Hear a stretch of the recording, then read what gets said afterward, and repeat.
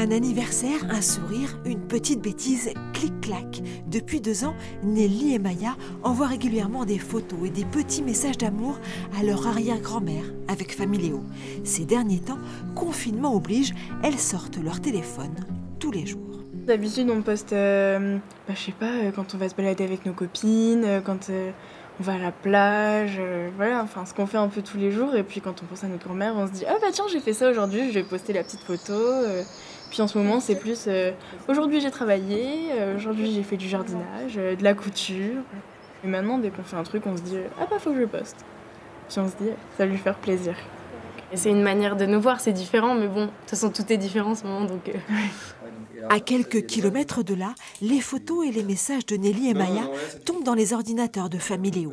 Depuis trois ans, c'est ici qu'ils sont mis en page et transformés en petit journal expédié dans les EHPAD ou au domicile des personnes âgées. C'est vraiment les photos du quotidien. Et c'est ça qui justement va toucher les lecteurs de la Gazette, c'est que c'est vraiment des preuves concrètes d'affection, des preuves d'amour. Euh, et au-delà du caractère informatif, ce qui va vraiment leur faire plaisir, c'est de se dire, bah tiens, ils ont pensé à moi ces derniers jours. 90 000 papy-mamies, pépé-mémé reçoivent ainsi régulièrement des bisous et des mots doux.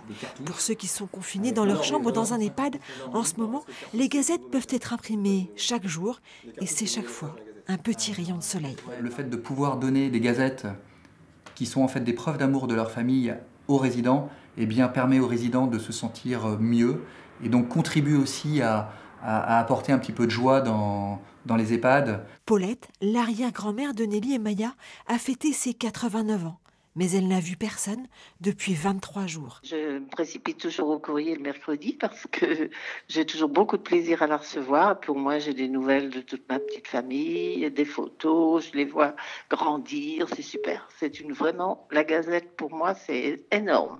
Le coronavirus nous oblige parfois à être loin des yeux. Les gazettes nous permettent de rester très près des cœurs. Parfait. Publié.